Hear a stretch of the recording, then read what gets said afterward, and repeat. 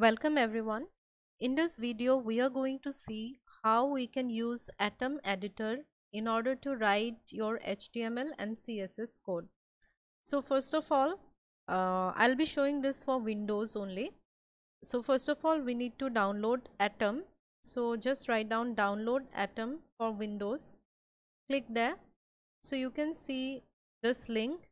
Click on there. So here you will have to click on download. So let it get downloaded. So once it gets downloaded you need to click here. So let me show you what to do next. Just wait for 12 seconds.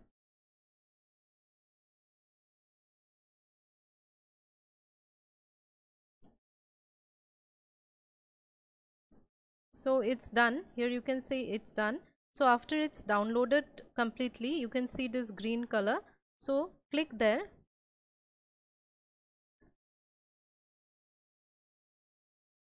So when you click on that one this one will automatically get installed. So you can see here atom is being installed. So once it is done it will be launched. So once you have uh, installed atom so you can either see this type of uh, welcome page or there will be uh, another welcome page where in this on the right hand side you can see some uh, icons here. So there uh, it will be written install a package. So you need to click on the install a package if you see a different screen uh, other than this. Or otherwise if you see a screen like this you can go to package and then just click on setting view and then go to install packages or themes. So you will see something like this. So in order to run your html code you we need to install some packages. We need something called pigments.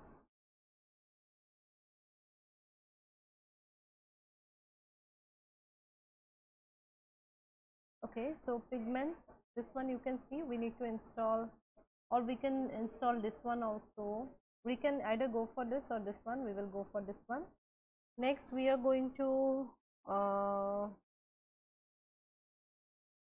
install auto save on change. You see this one? This one we need to install. Then okay next we need to install atom live server. So you can see this one. Install so uh, you need to install this package also which is emmet emme if you press right like this you will you go down. You can see this one. I have already installed it.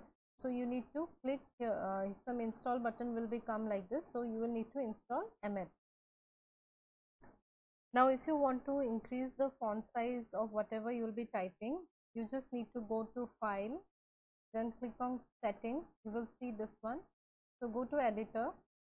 So here you can see this is the font size.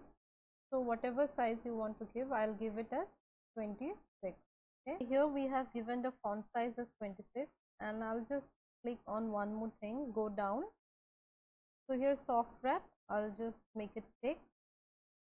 Okay that's it. So now we can uh, go and see how we can write a program so first of all we will just go to file and then click on new file okay? So before that you need to find a location where you will be storing all your files okay? Html files. So you just create wherever you want. Let us create one um, folder here itself web design. So i have created a folder here. So all my files will be saved here. First of all here so here i'll be writing my code. So first of all let us save this file so I'll just go save. You can press ctrl s also. So uh, on desktop I have created the uh, folder web design. So here you can give any name you want. Let us give it as x index.html okay? Just click save. Okay so this is the html file we have created. Now so this is my index.html so now I will see uh, say how we can create the HTML file like automatically it is going to come because of the emmet package just write exclamation mark and press tab So, automatically the framework has been set up. So, here we can start writing uh, the HTML code. So, uh, this will come by default. So, let us make some modify some the code here let it be my web page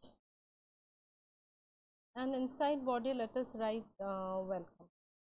That's it. So rest of the things are as it is. Just save it. Now now if you want to see the web, web page that we have created we will go inside the folder. This is the folder that we have where we have uh, saved our file. Double click here. So you can see this is the page. This is the title we have written my web page. And this is welcome we have written inside the body so this is our first html page that we have created. Thank you for watching